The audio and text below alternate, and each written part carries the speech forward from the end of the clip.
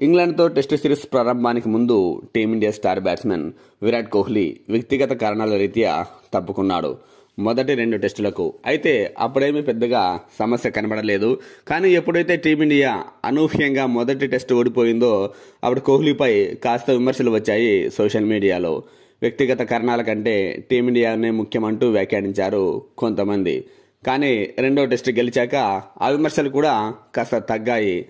అయితే నాజీర్ హుసేన్ ఇంగ్లాండ్ మాజీ కెప్టెన్ ప్రముఖ కామెంటేటర్ నాజీర్ హుసేన్ విరాట్ కోహ్లీ ఆడకపోవడంపై స్పందించాడు.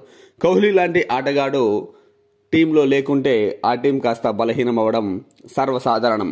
నిజం చెప్పాలంటే విరాట్ కోహ్లీ లేకపోవడం వల్ల భారత్కే కాదు మొత్తం క్రికెట్కే నష్టం అంటూ ఆసక్తికర వ్యాఖ్యలు చేశాడు.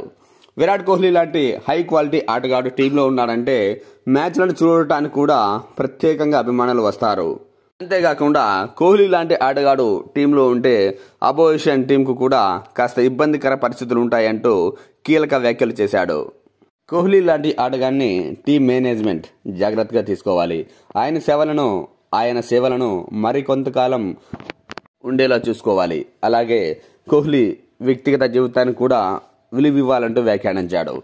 కాగా ఇంగ్లాండ్తో జరుగుతున్న టెస్ట్ సిరీస్లో మొదటి టెస్ట్ ఓడిపోయిన టీమిండియా రెండో టెస్టులో గెలిచింది. మూడో టెస్ట్ మార్చి పదహైదున జరగబోతోంది.